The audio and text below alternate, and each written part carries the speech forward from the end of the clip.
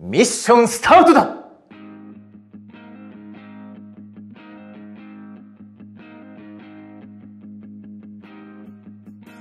はいそんなわけでお久しぶりです、えーリトルバスターズ夏目恭介役の緑川光です。普通ねキーさんのゲームをプレイされてる方って大半男性だと思うんで 当然女性キャラが上位だろうなって思ってたんですよ。で以前人気投票やった時に、まあ、確かに京介人気があって男性キャラクターではトップ10入ったのかな。それですごいねなんてラジオやってた時にトークしたことあるんですけれども、まあ、確かにその時は旬でその成績で十分すごいなって思ってたんですけどだいぶ経ってますしで新しいキャラクターもねキーさんの作品で新しいキャラクターも増えている中でお並みいる、ね、魅力的な女性陣を 抑えて1位ってすごくないって正直びっくりしましたね。はい魅力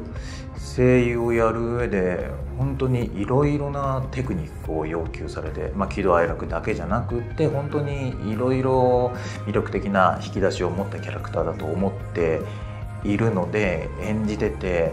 あの楽しかったですしまたちょっとその魅力を僕が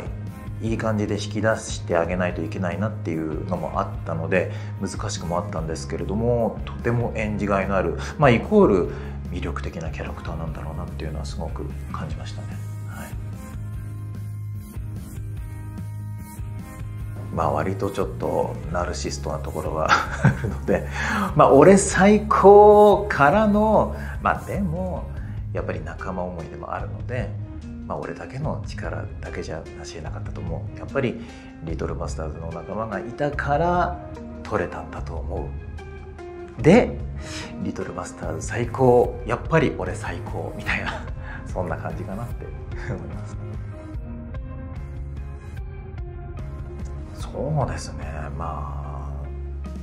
どう考えてもやっぱ最後泣かせにかかるところ。他でもトークしたことあるんですけれどもゲームの時にあのシーンをやった時にすごいいい芝居できたなって思ったんですけれどもノイズかなんかの関係で撮り直しになってでもう一回やって。まあ自分の中ではまあそれもいい芝居だなっては思ってはいたんですがでも1回目の方が個人的には好きだけど、まあ、何度もやるもんではないなって思ってたし OK 出たのでそれで終わったんですけれどもあのアニメの時にやっぱりそのあの幻の1テイク目に臨みたいなっていう思いとあと、まあ、ゲームの時は絵に合わせるわけでは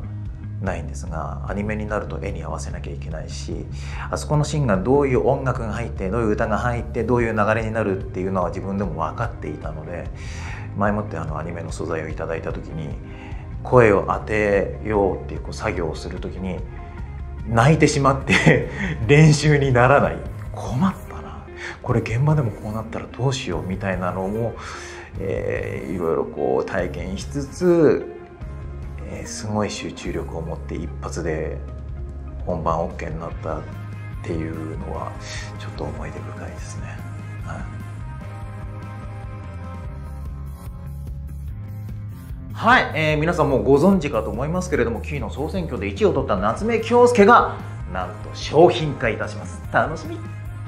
はい、詳細はですね、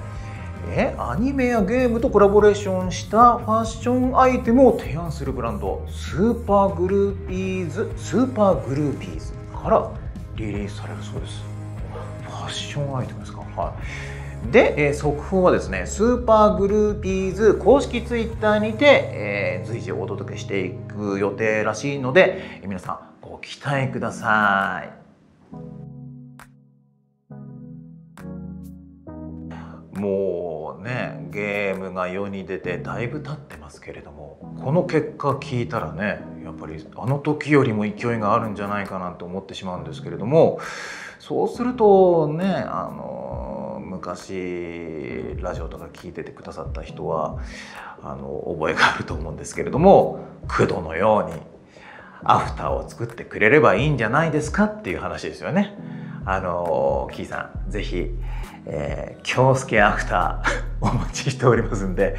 よろしくお願いいたします。そのわけであの皆さんが引き続きリトルバスターズを応援してくださればあもう今回の件もそうですけれどもまた何かこう新しい展開を見せるかもしれませんので引き続き応援のほどよろしくお願いいたします。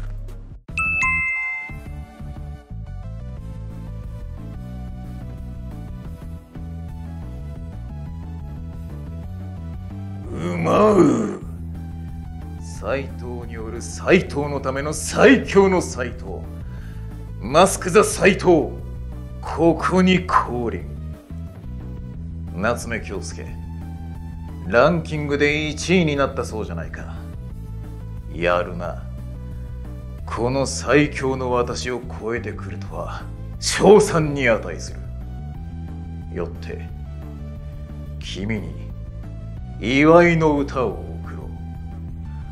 う。あれほれあれほれうまううまううまううまう。いかがだっただろうか。夏目恭介これからも君の男を磨きたまえ。そんなわけでさらばだ。うまう。